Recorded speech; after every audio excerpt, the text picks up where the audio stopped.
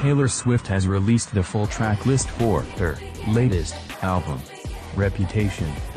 Along with the four songs that the love story pop star has already released, other titles include I Did Something Bad, Don't Blame Me and This Is Why We Can't Have Nice Things. There's also a song called Endgame in which she teams up with close pal Ed Sheeran and US rapper Future.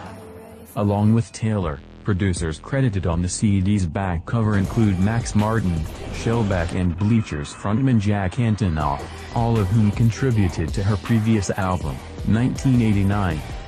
Taylor shared the track list on social media along with a countdown.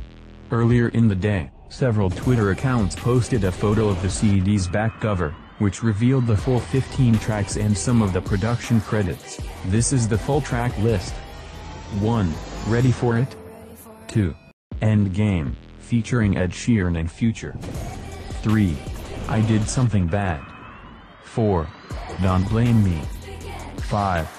Delicate. 6. Look What You Made Me Do. 7. So It Goes.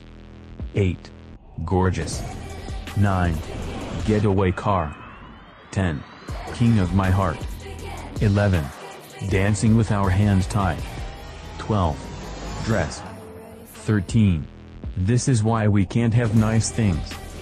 14. Call it what you want. 15. New Year's Day.